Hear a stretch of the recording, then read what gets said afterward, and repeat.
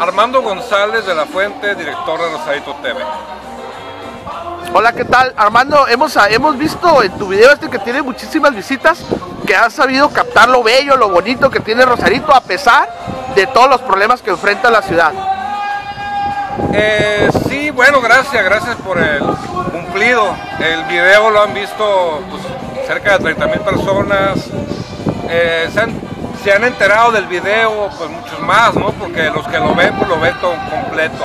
La idea de captar la, esencia de Rosarito, eh, pues para mí ha sido algo que me ha gustado hacer desde hace 13 años que llegué a Rosarito y empecé con el programa Plaza Pública, cuando empezamos a, construir la televisión local y precisamente con la intención de aportar al desarrollo de, de la identidad ¿no? de Rosarito, a fortalecer el sentido de pertenencia y pues aportar un poquito a, todo esto, porque tiene mucho, Rosarito tiene mucho que ofrecer, tiene muchas historias y todavía tiene muchísimas más eh, datos que no hemos podido todavía identificar, pero creo que es una ciudad que merece, que tiene que, que expresarse, que merece mucho más y siempre pues, hemos estado como cobijados o eh, con la imagen de ser chiquitos, con la imagen de, ser un suburbio de Tijuana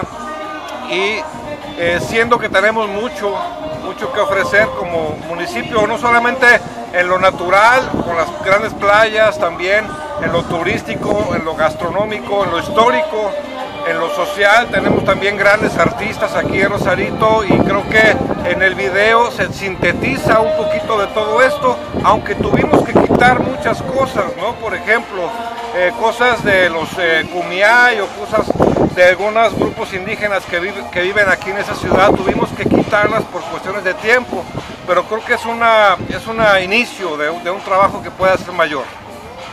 Eh, desde tu punto de vista, Armando, ¿cuáles eh, son los retos que enfrenta la ciudad para poder ofrecer su grandiosidad?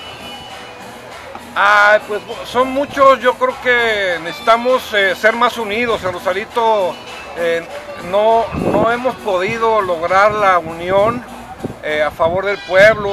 a veces parece que estamos aquí nada más cuando nos conviene.